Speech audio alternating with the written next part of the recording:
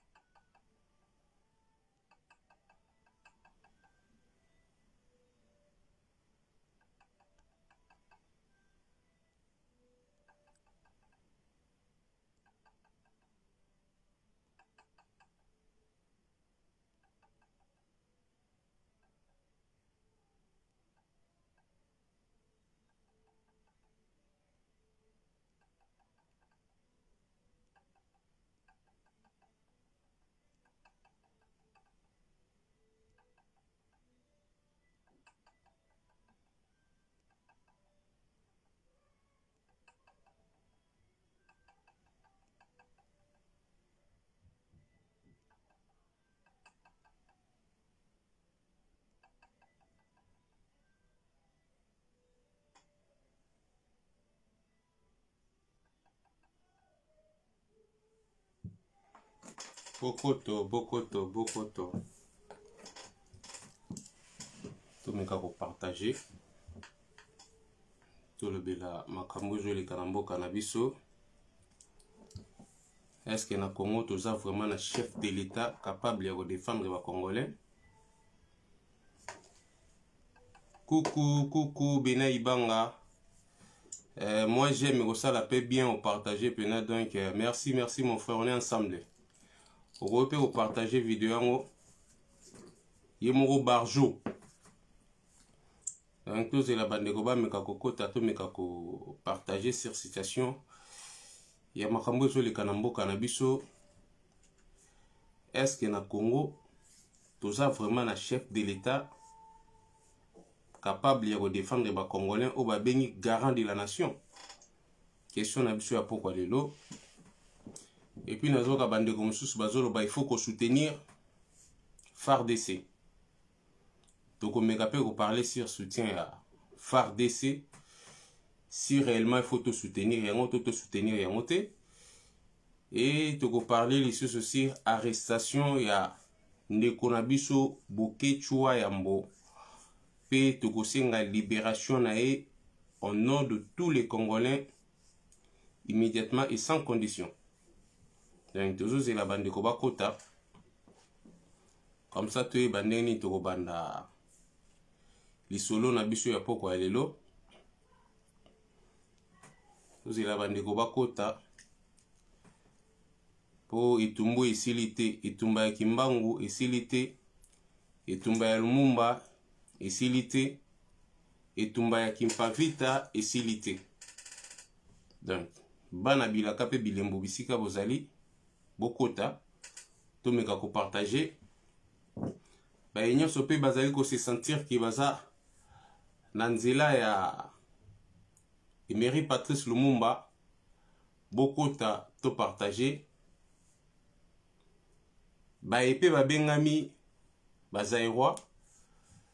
euh, bokota to partage donc eh, tokolobela makambo ya mboka awa tokoloba nyonso tu eza sans tabou tokobenga nyama na nyama na nkombo na ye donc voilà e tokosalaka 30 minutes tokolekisa 30 minutes te tokobanda kokutana na pokwa nyonso tu ya mardi na bangonga oyo mpe samedi toujours na bangonga oyo tomeka toujours ko partager mpo na ekolo na biso na bandaki koloba eske na congo na biso toza réellement na un chef de l'état to un garant de la nation capable ya kodefendre ba peuple congolais question mark donc eza question ensemble na bino tokomeka kopartage na bandeko nyonso bazokota ntango bozokota moi j'aime bozopartage mpe video ekosala eko mpenza malamu mingi donc d'emblé déjà tokoti na sujet na biso ya soir ya na pokwa lelo ntango eh, nazolobaka eske na congo mpena toza na chef de l'État capable de défendre le peuple congolais, je ne pense pas que na mboka na biso Congo toza na chef de l'État digne ya ko défendre bana ya mboka to ko défendre mboka Congo. Na lobi bongo cela n'engage que moi par rapport ya ba propos oyo oui coucou coucou bruno doudou mbwangi bambote ebele place ozali mon frère donc euh, meka mpe kopartage video parce que tozali komeka kopartage sur makambo ya congo toujours tozolobela estce na congo na biso ya solo mpena tozali na euh, chef de l'état capable ya kodefendre bapeuple congolais cela n'engage que moi papi volcan nalobi que non toza na chef de l'état te oyo capable ya kodefendre bapeuple congolais toza na marionnette moko aza na motu ya mboka na biso parce que soki tozalaki réellement na chef de l'état na kati ya mboka na biso bapropos tenu par paul kagame ya koloba ke na est ya congo na biso bamassacre esalemi te ezali mpe deuxième génocide te ekoyoka réponse oyo Félix Chilombo Tshisekedi arepondaki cela prouve que euh, ndeko aza na makasi ya kodefendre bacongolais te sur le plan international meme baoyo bazoloba oyo diplomatie me wana eza diplomatie te ntango kagame atenir bapropos moko ya wanganaki na est na biso bamasakre esalemi te génocide esalemi te soki tozalaki na euh, chef de l'état digne euh, du défunt maréchal mobutu je pense que tolingaki toyoka mpena réponse ya elombe sese e kagame alingaki azala star te alingaki aloba babétise nyonso tu alobaki te mais en face na ye lokola aza na poltron marionnette motu aza capable ya ko défendre bapeuple congolais te Voilà pourquoi na pokwa ya lelo tomituni motuna ya koyeba si réellement na Congo na biso toza na euh, chef de l'État digne ya ko défendre ba peuple congolais ngai papi volcan na bike non toza na chef de l'État te oyo akoki ko défendre ba congolais et non seulement ça nayoki susu bandeko bazo parler sur makambo ya kino il faut to soutenir euh, ba FARDC mais nayebi te soki congolais oyo elobi nango ata bokeci wa yambo nayebi te soki congolais aza peuple ya ndenge nini bongo na ye basala yango na matière nini alors ke toza na bamatière premier nyonso tu yambo na kati ya congo je pense ke congolais mpe ifalaki azala digne ya wi mbote mbote ingeta ingeta ndeko na ngai uh, eh, fda na image donc nayebi te soki congolais basala ye na matière nini cerveau ya congolais nayebi te soki batya yango nini alors que toza na baminerai nyonso to alors que cerveau ya peuple congolais ekokaki kozala mpena ke cerveau moko riche na raisonnement na makambo nyonso tout parce que tout ce qu'on a comme richesse je pense que à un moment ba mitu ya bacongolais falaki mpe esala malamu parce que koloba ke non to soutenir fardc nazomona bato balati ba t-shirt batie je suis fardc je suis fardc to soutenir fardc mais basoutenaka armée nationale je dis bien basutenaka armée nationale mais fardc nini bino bozoloba tokende kosoutenir lorsque vous avez un armée qui a été brassé bazwi barebelle utu euh, non barebelle ba, ba, ba, banani bazwi bamilitaire ba, ba ougandais burundais rwandais batie bango na kati ya armée na biso yango babengi yango brassage donc bamilitaire ya kundabatware lelo baza na kati armée congolaise bamilitaire oyo mpe jean pierre bemba azwaka na uganda epai ya museveni na baugandais baza na kati armée congolaise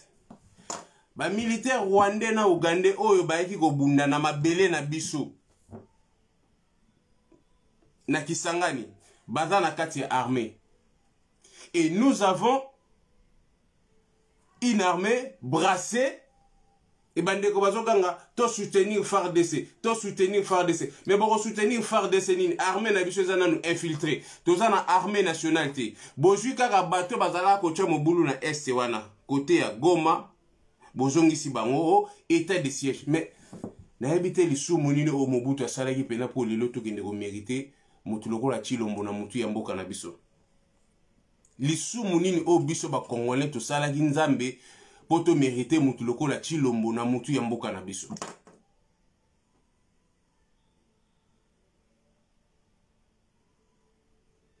lisumu nini mpena oyo tosalaki eza motuna nazomituna mpe natuna bacongolais tokoki ko soutenir FARDC te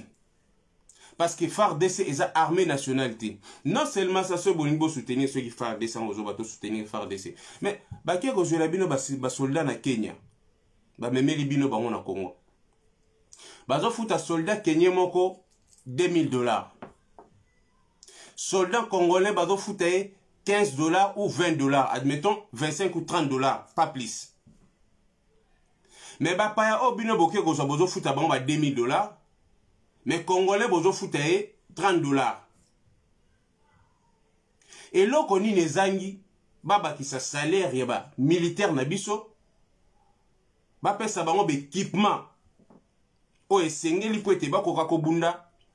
eloko nini mpe ezangi na basoi disant badepute oyo bazali na kati ya Assemblée nationale ya Congo mpo tosenga guerre contre Rwanda mpo kimia ekota na est na biso il faut tosenga guerre na Rwanda epekisami te kosenga guerre na pays voisin eh, de chilombo partout azoleka bato nyonso tuka baza ba mon frère aye na france eh, nous sommes en train de parler avec mon frère macron nayebi te soki frère ne babotamaki ne tata moko mama moko nayebi te ye bato nyonso baza bafrère paul kagame mon frère eh, donc bato nyonso ye akutana na bango bafrère na ye lisumu nini oyo bacongolais basali mpo to mérite zoba lokwa chilombo franchement na est na biso kuna volcan, eh, volcan de nirangongo etomboki bato bakufi ebele adecrete ata journée ya, ya, ya ville bamassacre ba bamort na biso wana ezolobela ezo ye eloko moko te mais soki baprésident ya babikolo mosusu bakufi bozokitisa amberme ya drapeau na biso bokitisi yango o oh, dei national mpo na president ya tanzanie dei national mpo na president ya tchad me bakongole bango moko bazali kokufa na mabele na bango na est wana bakongole bazokufa ebele quand est ce que chilombo okosala ville okosala dei national mpo na bakongole oyo bazokokufa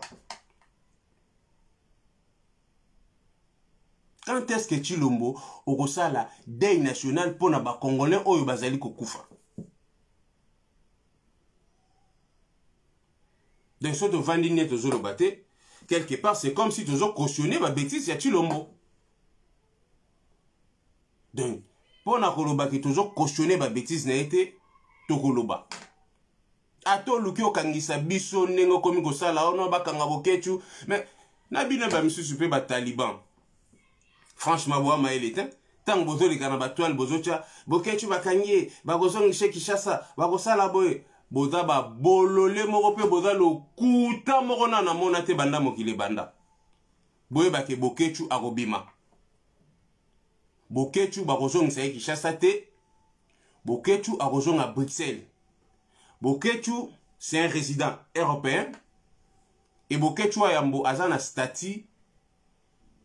ya barefugie soko bakende kozongisa na kisasa mpo asali nini abomi ayibaki azwaki eloko ya motu to azwaki mwasi ya chilombo to azwaki mwasi ya nani boketshu bakangi mpo na kongo kozala na ye na boloko ti lelo main noire moko eza na nsima wana eza main noire ya chilombo main noire ya kagame me kokanga boketu epesi lisusu bacongolais force bakoba kobundela mboka na bango cela prouve ke eh, na bato babandaki koloba okomba oh, esili bokende kinshasa komba esili bokende kinshasa me bino moko bokei nanu te biso tozobunda ndeni bakomi koluka bakangisakangisa biso moko moko epuis bokoki kokangisa boketu bokanisi soki bokangisi boketu nde ntango akobima alobi ke atiki komba mais non bopesi ye lisusu force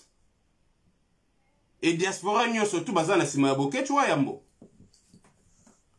biso nyonso tu toza kosoutenir ye mpe tozosenga libération immédiate sans, con sans condition ya, ya ndeko na biso boketshu au nom de tous les peuples congolais kokangisa boketshu olobi te kekombe esili boketshu akobima mpe bopesi ye lisusu makasi e nakosenga na famille ya boketshu na mama didi ya soba mabolongo eyinda toujours mpo na kosambela mpo na ndeko na biso boketshu akobima eh, place azali mama sambela mpo na ye mpe soki abengi bomotivake moral ezala toujours bien donc eh, bandeko oyo bataliban bazokanisa ke boketshu wayambo waya mbote mbote ndeko eh, citation sita Coucou, place ozali tozolobela kaka makambo ya Congo soki mpe okotya mwa j'aime opartage video na biso ekosala malamu donc boketshu ayamba kobima bataliban bozala calme bobakisa mai na bavere na bino mpo ntango tozolobaka mboka eza malamu te makambo nyonso tu eza ya malamu te na kati ya mboka na biso bozokanisaka tozokosa to toza tozoloba makambo moko eza na nzela te bino baye bozoloba okongo esi ebongi mais bozonga na congo bokende kolona matembele mpo congo esi ebongi uh, kuku uh, eh, isaac kalonji mon frère uh, mon ami d'enfance bambote ebele place ozali maître donc bino baye bozoloba o congo esi ebongi mais bozonga na congo bokende olona bilanga matembele bovandi bokumisaka motu moko boye beton nzoka nde motu yango aza beton te aza ne bidon azosala eloko moko te mpo na peuple banda aya na pouvoir ezalaka lacation na lacation promesse na promesse banda apesa bapromesse ti lelo arealise ata promesse moko te ebandaki nano fcc bazotyanga bakale naza na majorité te na assemblée nationale naza na boye te e naza na boye te lelo okomela biso lisusu eh, état de siège yango nde moto ezosa me basalaka état de siège na armée nationale et puis état de siège yango okopie vieille recette moko boye maréchal mobutu asasalaka yango nayebi te soki yo tshilombo oza na armée nini nayebi te soki militaire nini oyo oza komaîtrise lokuta na lokuta to lokuta moko bando banda lokuta ti lelo tozomona place ozomema biso te tozomona place ozomema kongo te tozomona ici de secours te même au bout du tunnel tozomona eh, tozomona ata tozomona ata mwa mwinda moko ya moke te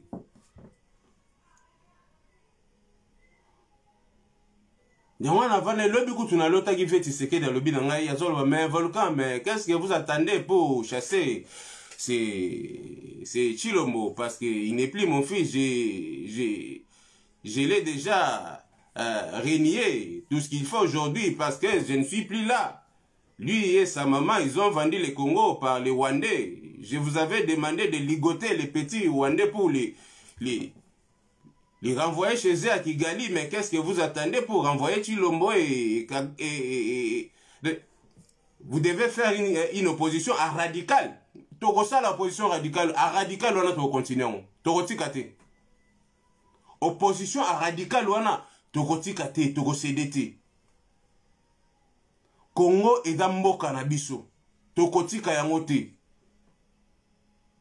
tokobunda jusqu'à ce que tokobengana chilombo imposteur mais c'est 15 pour lelo toconfirme kozwaki na oganye no baélection te bando ya balakation na balakation baprésident ya bikolo mosusu bakufa odécrete dei national ondire baza bacongolais bacongolais oyo bazokufa na este kuna dei national ezalaka nango te donc mpo na yo normal elisumu oyo biso bacongolais tosali toyebi te lisumu tosali eza ya kozwa yo na mutu ya congo et non seulement ça ah, nzambe na ngai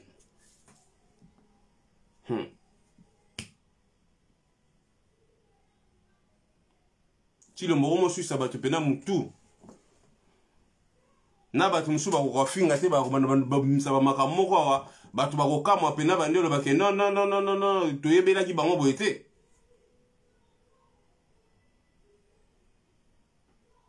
boye bozo yiba kaka yo na famille na yo le peuple d'abord tozomona pe place peuple azojwire te peuple aza na courant te peuple aza na mai te peuple aza na eloko moko te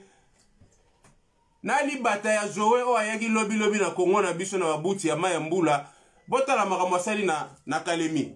atongi babalabala atongi banini atongi nyonso malgre tolingi ye te me botalaka me makambo asali par rapport ya yo chilombo oza kaka na bajaloliste na yo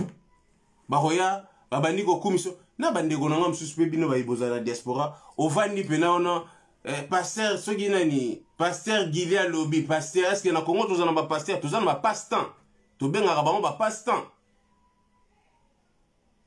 nga navandi oyoka oh, son alobi biso bato toinformaka bazoba wana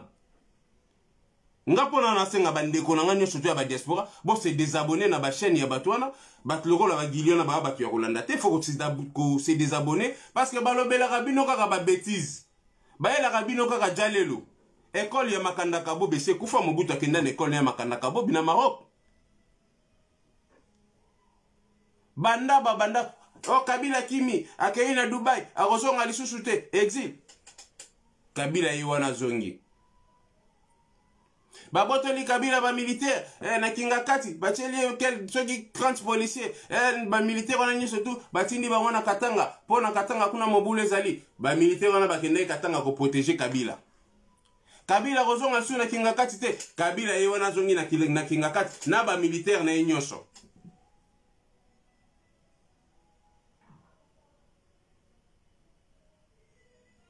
peuple congolais telema peuple congolais kolalisa misu te chilombo aza lisusu chilombo oyo toyebaka te chilombo akomi ndoki ya congo traitre ya monene ya congo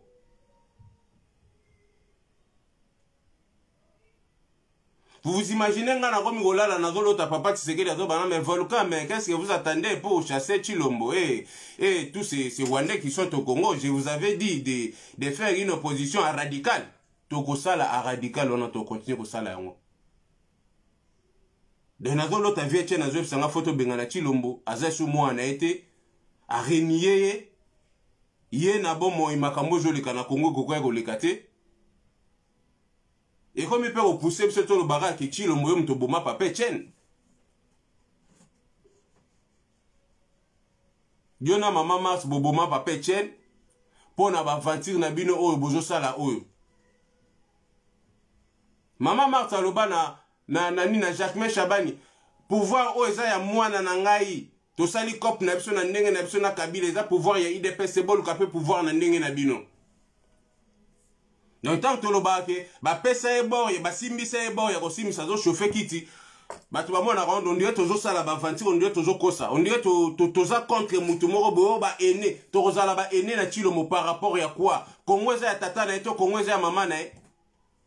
soki kongo ezalaki ya tata na ye bokolobaki wi toza ba aine mais tant que kongo eza tata na ye te eza ya mama na ye te eza ya koko na ye te kongo eza ya biso nyonso tu bokobenga bato ba aine par rapport à quoi mpo tozoloba verité ya mabe oyo azosala na kongo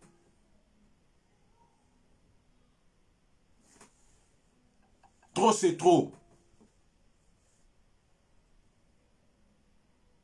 na ndenge bato mosusu bayamba oyo ya solo nzambe na ngai nasengi yo biloko mibale kopimela ngai yango te yawe soki osali te ah, eza mpasi eloko ya liboso nzambe ngai nasengi yo bomela biso chilombo zwa molimo na ye parce que ye na mama na ye baboma papa tisekedi mpo basala bavanture oyo basala na kanambe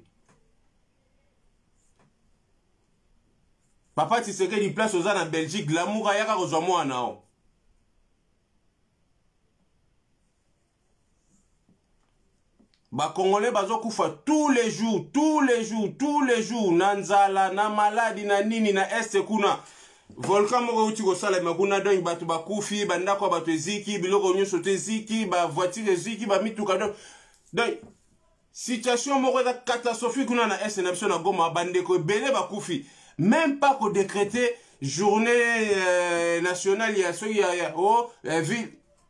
mais soki bato mosusu bakufi yo journée day national président ya, ya, ya, ya tanzanie akufi day national président ya tchad akufi day national ya bacongolais oyo bazokufa na baza banyama baza na droit day national te na pays wana toza na droit ya kokitisa drapeau te mpo na bandeko bazokufa na este wana toloba toloba te soki tolobi oh vous êtes des aînés nous sommes des aînés par rapport à quoi et par rapport à qui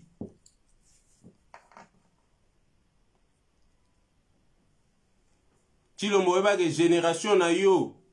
libota na yo mobimba ekozala modi ti na 4e ti na 5e generation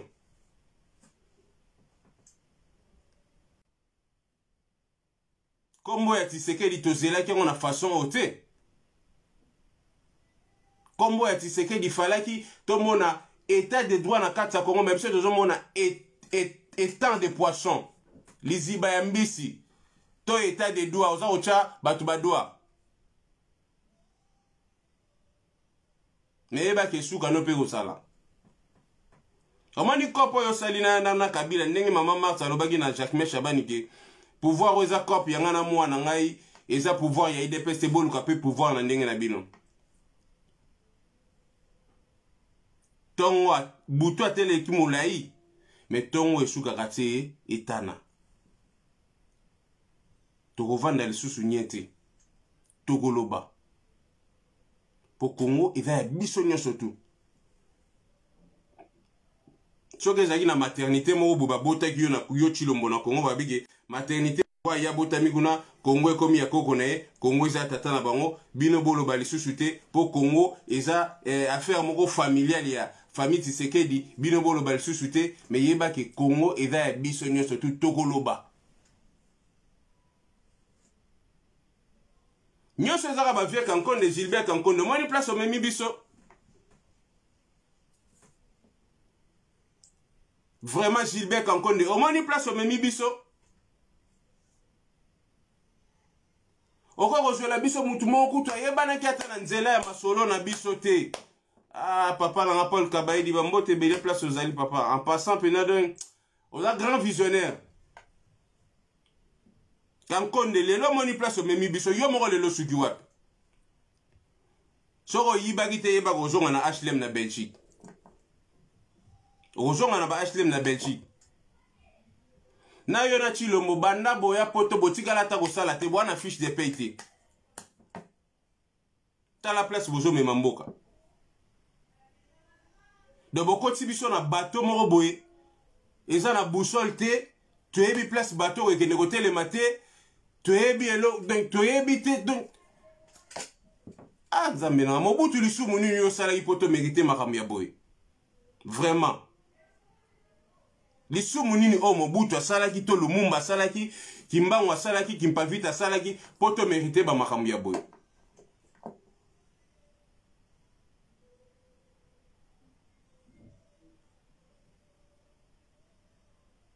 gilbert kankonde tala place omemi biso na repete yango mbala ebele ya na repete yango mbala ebele gilbert kankonde omoni place omemi biso na tshilombo afandaka na ye place moko bo ayebi ne kutu ata mutu na makolo ya, ya lisolo te okenda komemela biso zoba moko boye po ataka mwana tisekedi oyebi boya tosala soki nini nini me babiso ma bisusu tokota banyongo todefa bambongo mpo bodeplace mpo bosani eloko nini na kati tozwi eloko nini changement nini bomemeli biso na congo changement nini bino boye nao na congo changement ya état de siège état de siège bozosala yango na eh, eh, armée oyo eza brasse barwandais baa na kati baburundais baa na kati baugandais baa na kati solution nini bozwa na est wana tanke bato wana baa na kati ya armée na biso tanke toza na armée nationale te peu importe bosala eza na ona eloko moto eza sans effet ekozala nile sans effet to soutenir ba fardc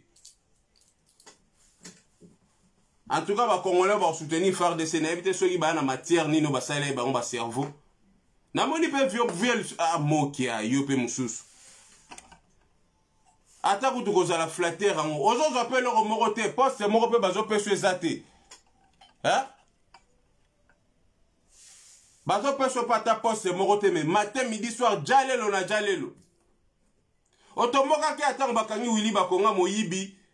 eh, ngai bandeko na ngai eh, bakufi naleli eh, lider boye na boye me biso tozobundela bandeko tozobundela bikolo te tozobundela congo mobutu atikaki biso na tribalisme te biso tobotami na ntango ya zaire mobutu alakisaki biso tata bo moko mama bo moko ekolo bo moko mobutu alakisaki biso teke oyo aza mongala oyo aza mokongo oyo aza lokele oyo azali moswahili oyo azali eh, muyaka oyo azali moluba oyo azali mopende oyo azali mochoko oyo azali oyo no toyebi makambo wana te mobutu atikela biso makambo wana te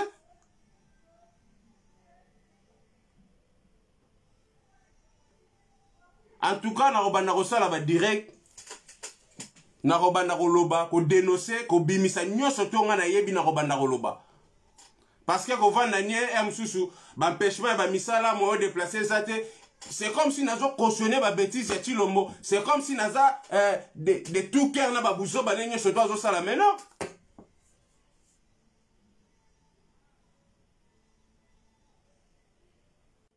to lisumu nini oyo papa tisekedi asalaki mpo abota chilombo mwasi na yo rwandaise akezwela biso baorphelin soki na baorphelin na rwanda 400 e quelque enfant bayeka na mboka na biso bazotanga na mbongo ya congo lobi bakobanda susu koboma biso bakokɔta na armée est ce que denise nyakero avant kende kozwa 400 soki orfele to orpheline na rwanda kuna na kongo wana baorphelin baza te eh. na est na biso batata na bamama nyonso bakufi batiki baorphelin na baorpheline te toka na kati ya ville ya kinshasa wana bana oyo nyonso tu bozobenga o baenfant de la rue o bashege bazanga mpe batata bazanga mpe bamama pourkui bokozwa bana na te boencadre bango botangisa bango mpo kongo ya lobi mpe bana na bakoka kodirige yango de fois bokende kozwela biso bana ba rwandais bomemela bango na mboka na biso bozotangisa bango na mbongo ya kongo bazolia na mbongo ya kongo lobi bakonza lisusu bana na biso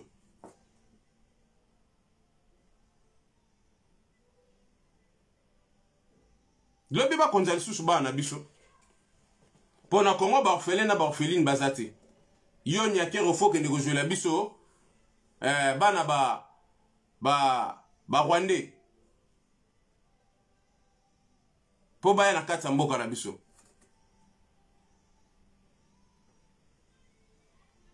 donc toloba toloba te tokoloba soki na congo tozalaki na baorpheline na baorphelin te ah tokoloba ah, denis nakero osali malamu bravo oke kozwa bana barwandais barwandais oyo bazoboma biso ba rwandais ba infiltra biso il faut tozwa lisusu bana na bango totangisa bango na mbongo ya kongo balia na mbongo ya kongo bakola na kongo mpo lobi lisusu babanda koboma biso baboma bana na biso baboma bana ya babana ya bana ya bana na biso tokoaccepte eloko wana te bana wana tokozongisaka bango na rwanda nazomona mpe ntina bovandiseli bana na na kongo te peuple congolais il est un faux telema lokola oza na moto akoprotege yo te oza na moto akosekirize yo te telema zwa nyonso okoki kozwa ose defendre muza alobaki tozwa machete flèche nyonso to eza na possession na biso mpo te tokoka kose defendre tozala baesclave ya ba ya ba ya, ya, ya batuti te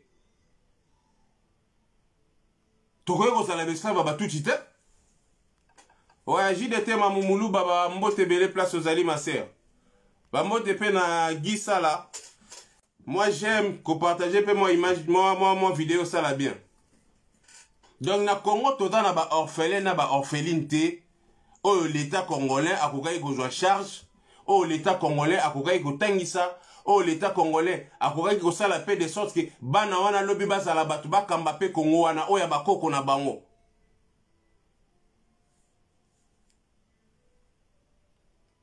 Lisumu nini oyo Mobutu asali?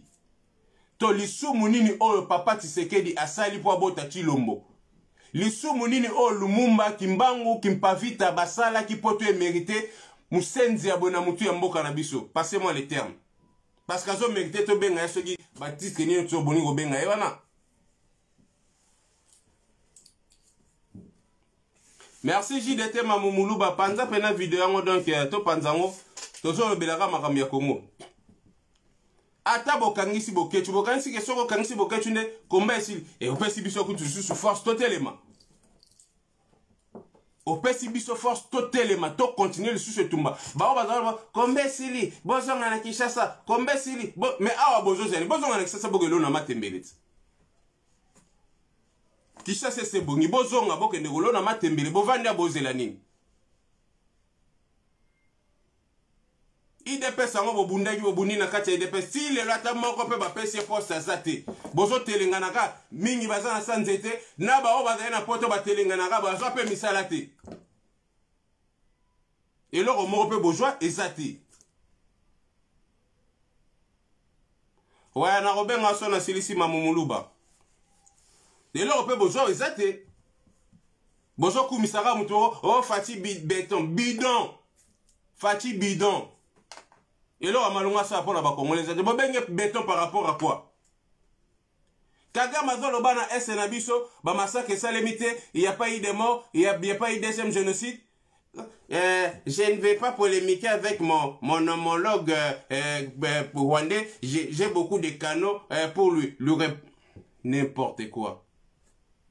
ntango kagame alobaki yango alobaki yo bato nyonso tu kaka mon frère kagame mon frère eh, macron mon frère toyebi te soki ba mon frère yango ya mama nini na tata nini bobotama na bango bato nyonso tu bakoma bafrère na yo kagame aloba babétise ozokoka ata korepondre kagame te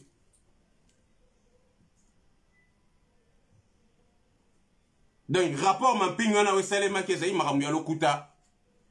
ntango tobandaki kobunda no totambola no na nzela awa 8 million de mort 6 million de mort 12 million de mort ozoganga bavideo ezali ezalaki makambo ya lokuta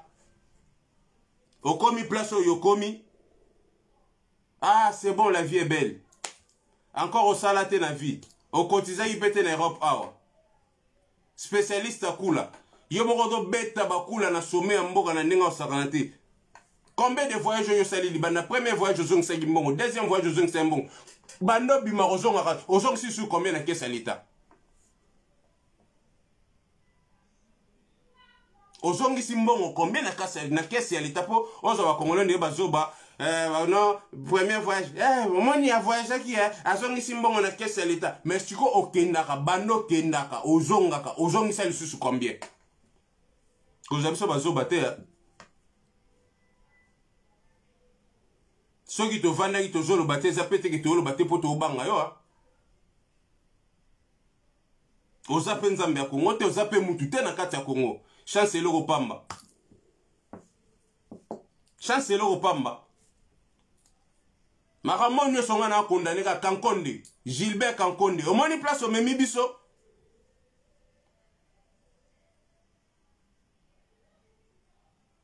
ve na nga prof kando azalaki na raison prof kando azalaki na raison que je sali en passant vie nanga place oza na belgique bambote ebele mosenzi ya kankonde otala place amemi biso papa kabaidi azali na raison ya kobengana o tala place omemi biso okazwela biso abruti moko bamutu moko atanga na ye mpe kutu ata te banda ya na poto koteka pizza kobeta bakula kosala nyonso tu ya mabe azongi entourage ne miyibi na miyibi ya sala na entourage na exemple nini ya moto ya malonga oyo okopesa biso nani masamba shekuler nani iso oyebisa biso gimisho wanjo bomemie tala nde bosukise bobeti avc gimisho wanjo bobeti avc directeur ya marché aza no ayebi ata okoma nkombo na ye te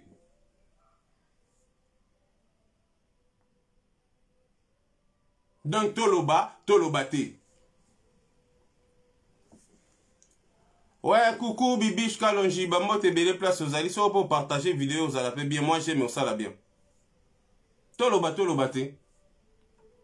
Ba Congolais ba kufa na S, euh, Day National les a raté. Il y a présent à Tanzanie 4 jours Day National. President ya Tchad akufi, oui normal, deuil national. Mbwa mosusu akufa soki ata na Togo, oui deuil national mpo ba mbwa bakufi na Togo. bamabata bakokufa na guine dei national mpo babomi bamabata na, na, na, na, na guine mais na congo na est na biso bato bazokufa ata jour moko te o deuil national eza te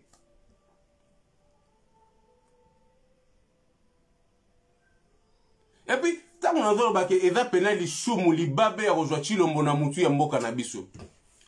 oye na conférence oyo bazoparle sur makambo ya euh, nini bachauffement ba climatique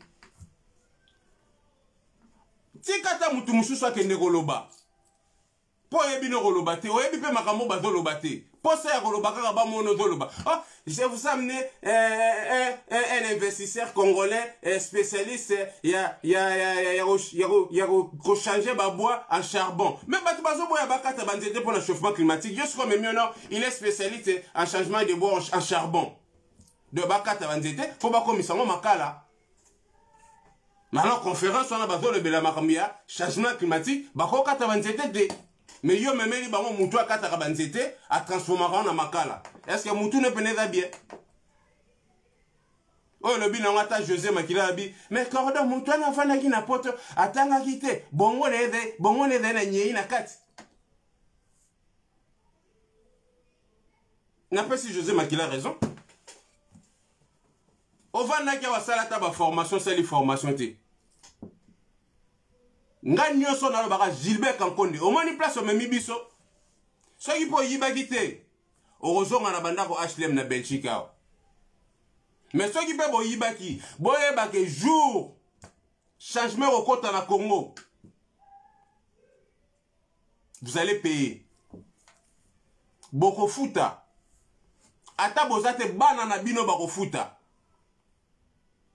mpo makila ya bakongole oyo ezotanga na ese wana eza makila ya bambwa te eza makila ya mabata te bato wana bazalaki mpe na droit ya kovivre na mabele ya bakoko na bango lisumu nino basali mpo bamerite vi te na kati ya congo lisumu nini bandeko na biso ya ese basali mpo bamerite vi te na mabele ya bakoko na bango ozokumbela biso bikumbakumba o oh, banyamulenge baa bafrere na biso depuis ka banyamulenge bakomaka bacongolais ata kutu kobanga yango ata kutu posa ya pouvoir yango mpo babenga yo kaka président oyebi kozo mérite na ozala président te mais lokola basimbisi yo eloko ya kosimbisa lokola kagame aza chef na yo toyebi te soki mpe akoma kobima na yo lokola na franc-maçonnerie mibali babimaka na mibali toyebi te kagame soki akoma mobali na yo yango wana ozobanga koloba na ye nyonso tu kagame azoloba normal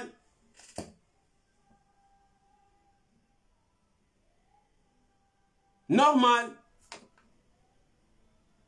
tozwa président moko ya illettré na namona te na oyo alobi ata boketu boketu aza na raison hein? okosi nano natanga na belgique bake tu verifie université otanga kombone kutu ezala ata te mais toyebi kaka place obanda oteka bapizza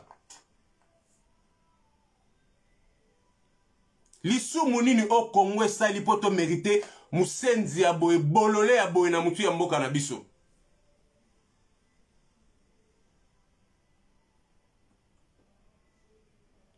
ata kutu mbwa alingaka ganga wuwuwuwu kagame ayokaki mbwa agangi Non, je ne vais pas rentrer en polémique avec mon homologue. Euh, J'ai plusieurs canaux pour lui répondre. N'importe quoi. Yo za na ba canaux yoko répondre Kagame yo. Canon nini yoko répondre non Kagame yo Chilombo. Répondre eh, Kagame na canon nini.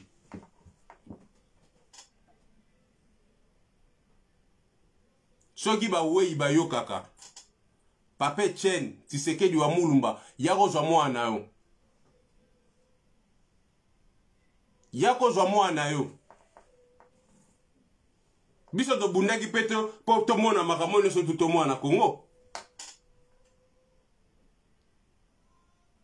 lelo bavie ya bandeko ebele bandeko ebele na kombaka bavie ebeba bakase judiciaire ekufa nyonso wana mpo na kombaka ke kongo echange kongo echange kongo echange okomi eloko nini na malonga oyo osali osali nini mpo na diaspora ti lelo passeport eza mpasi mpo na diaspora na kongo nanu bandeko na biso baza kuna bazosouffrir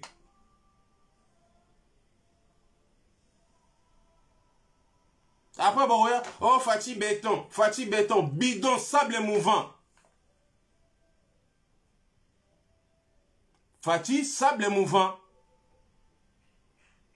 soki oza na bafanakwiti oyo bazokumisa ole baya biso verité ke ozosala no eloko moko te mpo na kongo banda okoti wana ozoyiba kaka obandaki na bavoyage premier voyage na kozongisa oyo ozongisi mbongo me banda obanda kokende ozongisa lisu combien banda yo bandi kovoyage ozongi susu combien na kese ya leta obimi ana azokende koluka bainvestisseur combien d'investisseur oyo omemi déjà na congo c'était une façon ya koyiba mbongo ya leta Ouais, coucou Bigis. Coucou, coucou Bigis. toza no moyibi libabi lisumu ya kongo eza kaka na mutu ya mboka na biso toza na président moko azalaki ne spécialiste ya frappe frappeur frappeur ya kosakana te na baku na poto abeta frappe na ndenge ya nyama akoma kutu spécialiste na frappe me ye moko soki akomi na congo amoni mpenza ke terrain eza vierge abengi bamasa nde nyonso to afrappe aboya to frappe frappe na frappe bambongo ozoi bamonta moko faramine ebongana na kati ya kongo ka 2 millions 3 millions 5 milliards 200 millions 150 millions est ce que bambongo wana nyonso tu wana ekopesa ata congolais mai na courant te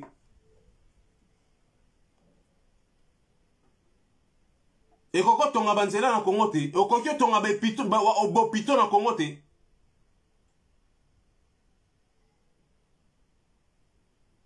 yo na na kamere premier frappe bobeta so de mouton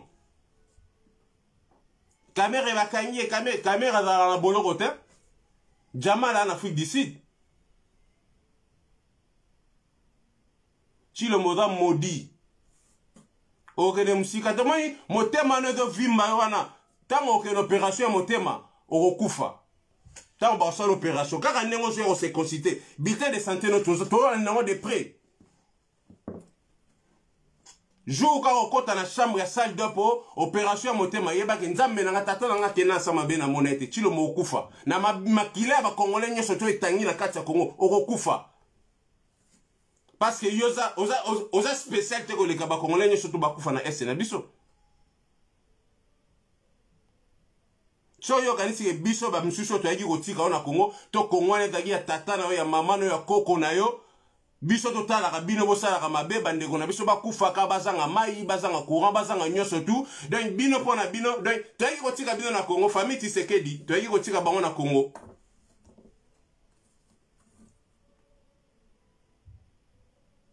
toyaki kotika bino na congo mais fo tongo na motuke toyaki kotika bino na congo te congo eza etat privé na bino te congo eza ya bacongolais nyonso tu toza na droit ya kojuire na richesse oyo mboka na nyonso to ezali kobimisa toza na droit ya, ya, ya, ya nyonso to eza na kati ya congo congo eza famille tisekedi te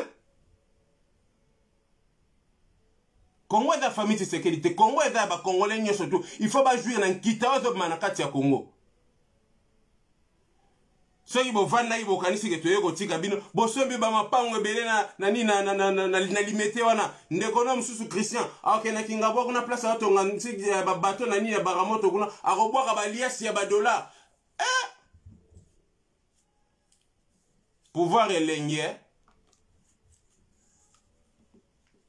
pouvoir eza elengi ntango ozalaki kokende barestaurant awa na ba na na na na ba ba, ba roi salomo banani soki bokoti na restaurant soki kaka bosilisi kolia ozalaki moto ya liboso omemi farde na na bapapie no kimi otikala kota kofuta facture moko te cilombo barestaurant nyonso tu bokenda na bato otikala kofuta ata restaurant moko te yo oliaka kaka omeli ntango esili ale okangi bisaka no pia moto ya liboso ebima na restaurant eza yo babiso oyo tobimisa bambongo ya bavoyage ya batike tosombela bino batike bokende mboka boye bokende boye bokende boye bokende boye me bokenda lelo biso tozwi nini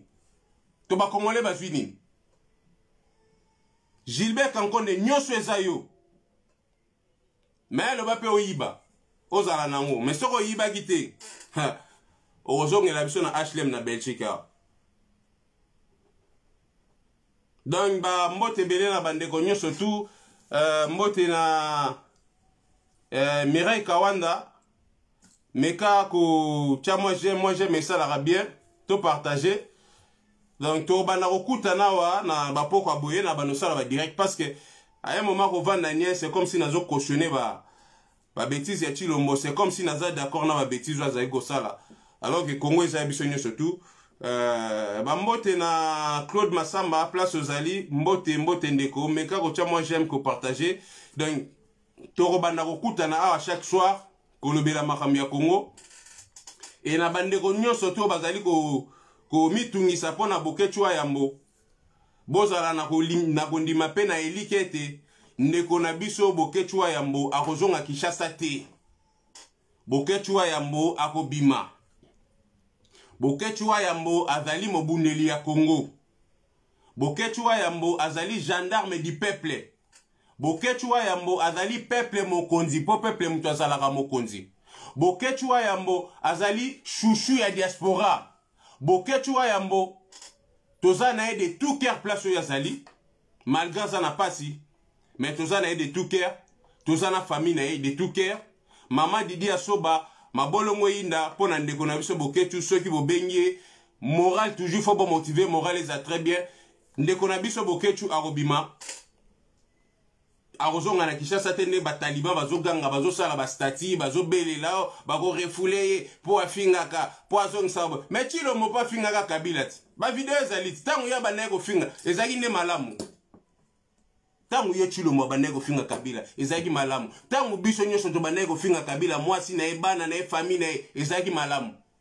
me ntango bakomi ofinga cilombo non wana eza su malamu te bande des idiots bafana kwiti kinshasa ebongi bozonga bovandi ya bozela nini na baresponsable ya idps ebele président ya idps aza na france basi asi azwi mosala combien de responsable ya idps ya france oyo bazwi mosala ata moko bobimisela nga ata moko oyo bino boyebi oyo azwi mosala basufrira na komema badossier matin midi soir kokende gauche droite koganga idps idps idps chilo bakomi na pouvoir botikali ata kozwa eloko moko te bato ya sa nzete alime te bazaka na sa nzete changement na bavi na bango eza te na bamisusu paster gili alobi na nga nazalaka na poto biso baye toinformaka bato ya kini biso baye tobandaki komba toza koinforme bango baza sous informe nakomi mpe na fandi yo eh, eh, paster gili alobi nga mpenza nake fanda nana na makambo gili alobi passe temps gili donc azolekisela bino lere azolekisela bino lere bafisi mokoko bango wana babetamaki bazwaki bani azwi eloko nini azwi eloko nini na idps bozwi mwana valentin mobake bobomi atako motema mabe cilombo ata kutu motema mabe valentin mobaki ana azalaki directeur cabinet tata na yo peu importe badivergence bokozana okokoma ntina na niveau akende oboma mwana ye te me kofinga bato euta na idps nani ayebi te kofinga bato eutaki na idps ntango bino bozowanga eh, bafingi na kofinga bato euta na idps oyo oh, bayoka son basalaka kuna na na sa nzete na bango ya nini wana ezalaka nini babetelaka bato maboko oh mikuape mosusu wana gile panzi ya malonga eza te santa malonga eza otali ata na manque dile na nzoto oyo oh, ye asalaka na eza nini kobetela bato maboko alo soki bino bato ya idps mafingi eutaki mpa na bino soki bafingi cilombo aza matama minene eske bafingi ye balobi kaka ndenge adjectif qualificatif babi kaka matama minene eske bafingi ye soki balobi aza chez couleur oui balobi kaka mosala banda osala na poto parce que soki bino boyebi mosala mosusu oyo ya banda osala na poto boyebisa biso place asalaki bopesa biso cv na ye tokende verifie mpe na baentreprise wana asalaki place nini ngai nasala na hôpital cochin so boke na cochin boverifie nasala na hôpital cochin nasala na peugeot so boke na peugeot boverifie na hôpital cochin nasali 6 ans brancardier na na brevet ya brancardier na peugeot citroen na poissy nasali 18 mois naza magasine cariste avec cap na na tous les cas 1 2 3 5 5 plus naza na cv na mboka oyo nasali sans compter baformation mosusu nasali alors soki bino moko bobandaki kofinga bato soki bazongiseli bino mafinga na fo bondima yango boaccepte yango bo accepte yango ebele bokomi oyo ona tosoutenir mwana mboka me tolobaki na ata kutu mwana na prefere kutu batya ata mbwa na place ya chilombo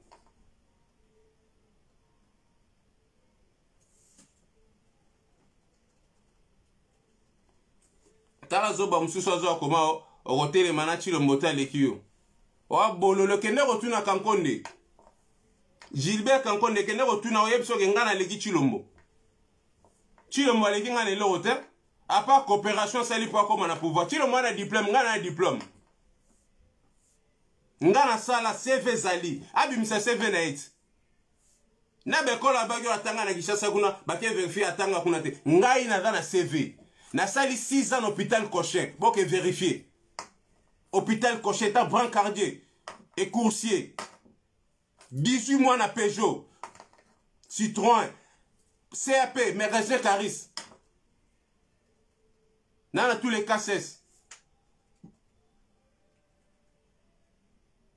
nasali na baentreprise ebele na continue mpe kaka kosala alors yo zoba mosu oleki cilombo te kotelemela ye te eh, n'importe quoi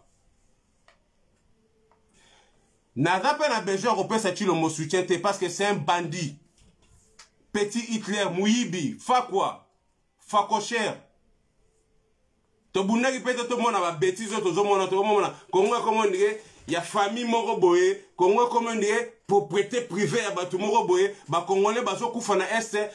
dei national ezalaka te soki mbwa akufi na, na tanzanie dei national soki mbwa akufi na, na malweka non normal soki eh, mbwa ya chad akufi o oh, dei, eh, dei national mais badei national oyo bosalela bato par rapport a quoi bakongole bakufa kuna bana makila te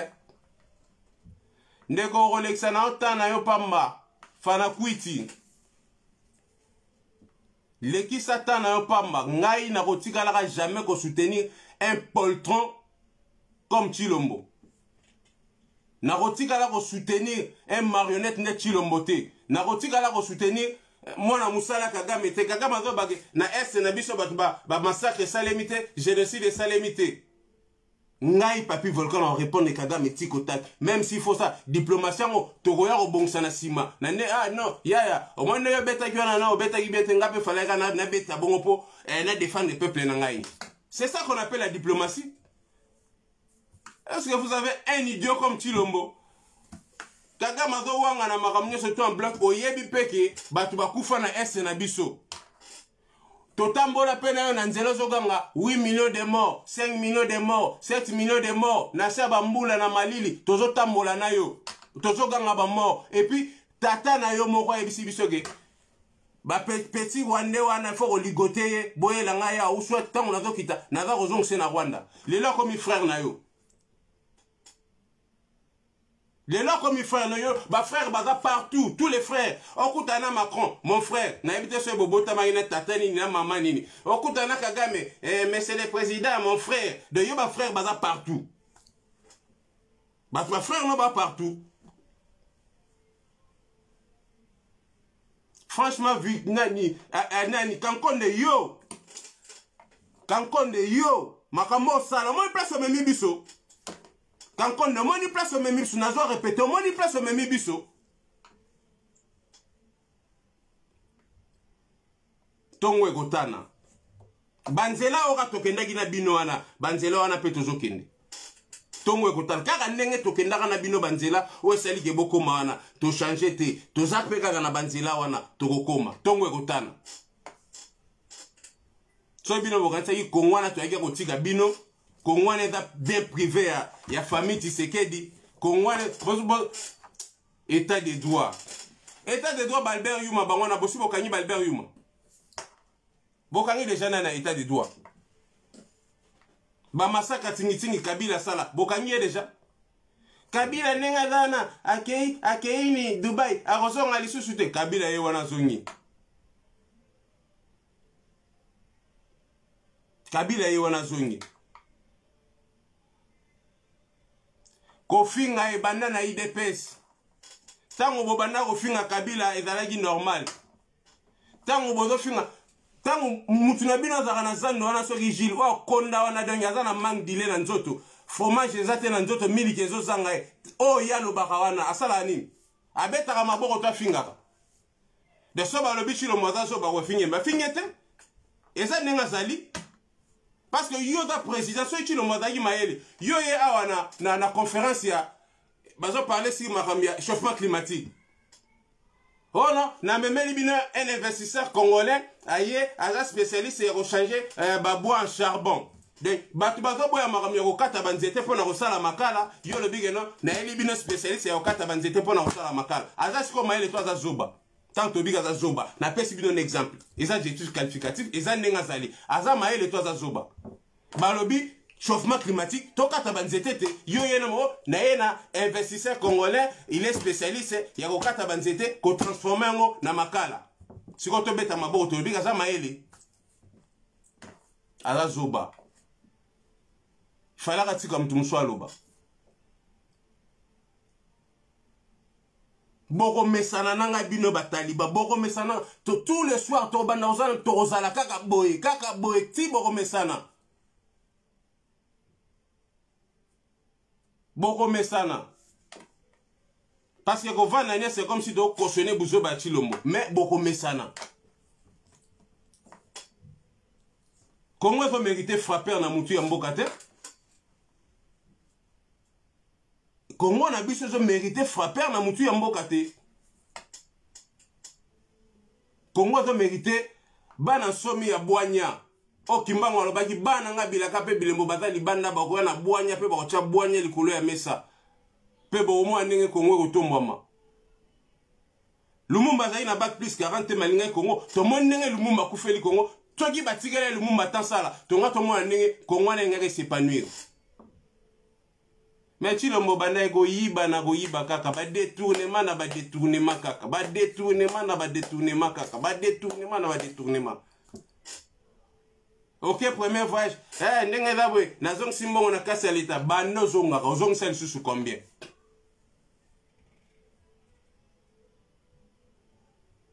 banda ozongaka ozongisa lisusu combien yo bayebisaki soki soki moto alingi azala présent na congo ezali na maternité mwa moto abotami babiloko obotami na maternité ya mama yemo yo nde moto ozala na président oyo abotamai na maternité kalembelembe azala président te bolole lokwa chilombo awa ah, tous les coups sont permis awa ah, tous les coups sont permis tokobenga ntaba na nkombo na ye nyama na nkombo na ye mosenzi na nkombo na ye tous les coups sont permis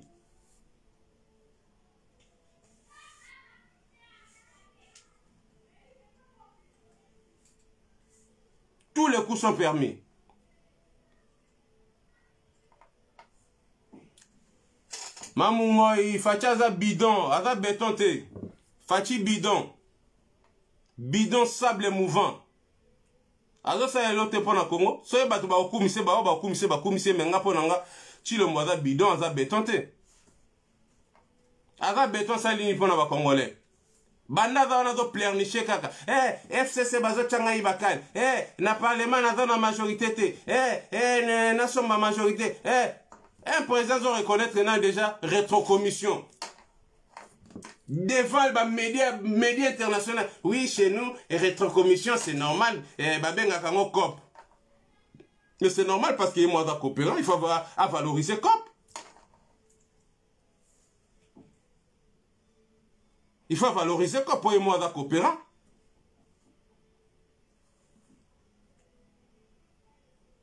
yo okanisi kokangisa bakombata nde olobaki na kombe esili kombe osila te kombe ekosila te boketsho akobima boketshu akobima bolinga bolinga te akobima ozonga kongo te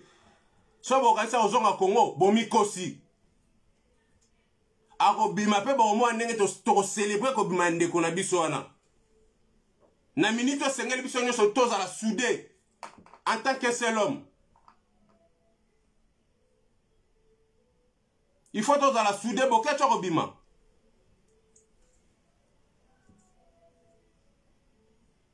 soki bokanisi bazongisa boketshu na kabe ya kamwanga bomikosi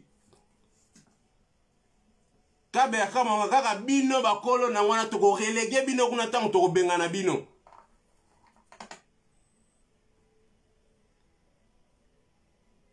kombe osila te kombe ezali eh, babiso kutu obotamaki te balumumba bakimbangu babunda batikali biso nzela bongo basenzi oyo bayo oh, kombe esili bokende kinshasa bino nde bokende kinshasa kolona matembele bokende kinshasa boketwa kobima bozala kalme bobakisa mai na bave na bino wayambo akobima aza na soutien ya peuple diaspora nyonso toya na nsima na ye et tozosenga na baautorité français balibere boketshu sans condition au nom de tout le peuple congolais donc akobima bomata bokita boketshu wa yambo akobima akozonga na kongo te akozonga na kongo te oya mama ngoi naobenga yo so nasilisi nazobenga yo oh ngai tofingi tata na ngai esalangelo eseka mingi na nzoto eza lokola ndenge ozobala ebembe eh, eh, ndenge osala ebembe eh, ndenge osi okufi na hôpital bakotya na morgue mwa bolole ebembe ebanga morgue ebembe ebanga morgue te toza batya mitu bakata nga kuna linga bafinga nga finga nyonso yo moni okofinga e ozongisa nga nsima te ochange nga te na ozalaka papi volcan bato so bayebi nga papi volcan mpo nabundelaka mboka na mpo na na muru ya mboka wana me cilombo so bayebi se parce que eh, alata nkombo ya motu moko asalaki politike nga tata na nga asala ye politike te me bato bayebi ngai koleka peut-être ya mosusu cilombo Première rencontre ya nga na Chilombo na restaurant Fouquet na 2002 adi londolo témoin nayebisaka ye ba verité idps eza royaume te idps eza ya tata mwasi te ya mama kulutu te ya nini te idps eza fondé par les, 4, les, les, les 12 parlementaires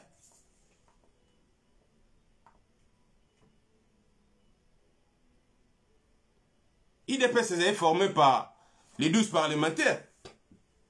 Tshilombo nde moto aza Mario. Mwasi wana batiele na ndako Denise Nyakero. Sibasi bakabwanaka na ye. Barwande moto bayozongise na ndako te. Azalaki Mario kuna epa Denise Nyakero na Belgique. Est-ce que ya banda osala? Moi j'ai jamais été Mario. Okoloba na ko répondre yo. nga nazalaka na adresse na paris soki oyeba te j'ai na adresse j'ai chez moi chilombo moto azalaki mario abimisa kitance de loyer nga na obimisa lo kitance de loyer na nga awa nako tika ya finga akolemba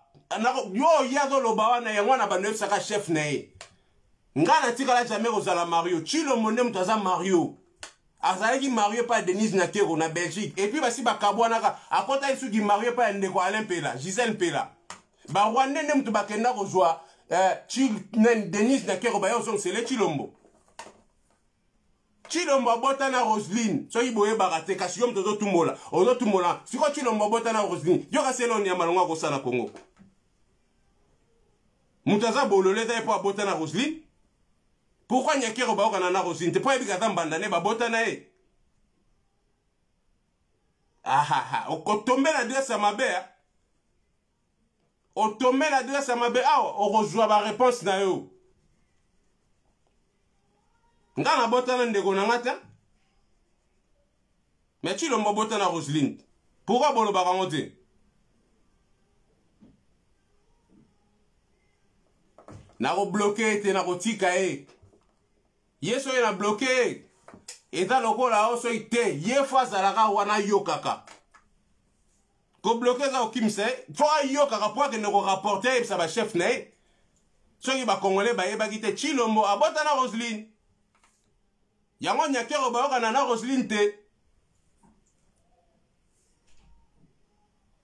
azalaki marie epai ya gisele mpela azalaki marie epai epai asala epai moko te mandako banova na belgique banova na ndeni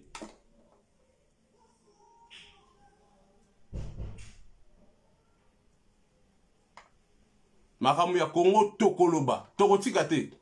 kongo eza tata ya motu moko te eza koko ya motu moko te so bokanisaki lokola tovandi tozoloba te te tokoloba tokoloba kongo eza ya biso nyonso tu toza na droit ya kojuire na nkita ya kongo wana biso nyonso tu bacongolais toza na droit ya kojuire na nkita wana ya kongo biso bacongolais toza na droit ya kojuire nango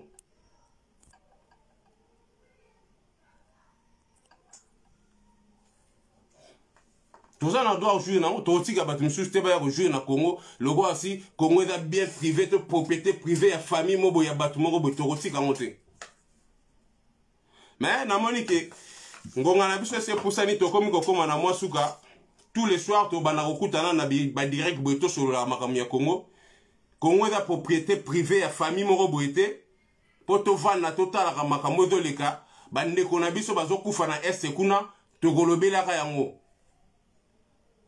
ya basenzi ba mosusu bozodekrite journée ya nationale ya, ya, ya, ya, ya dei national mpo na bapresident ba bikolo mosusu me bakongole bakufa dei national ezalaka te merci na bandeko nyonso tu bakotaki surtout napesi merci na uh, ati mochwa eh, ati mwanda basalame ebele place ozali jdt mamumuluba bambote ba ebele eh, bandeko nyonso tu oyo tozalaki na bango na mpokwa lelo merci bambote ebele eh, claude masamba bambote ebele place ozali gi sala bambote ebele Euh, donc bambote ebele na bandeko nyonso tozali na bango na pokwa lelo tokobanda kokutana pokwa nyonso tu tosololaka makambo ya kongo mais awa eza sans tabou otye libaya totye libaya tolongoli totye libende ingeta ingeta ingeta soirée elamuna bandeko nyonso tu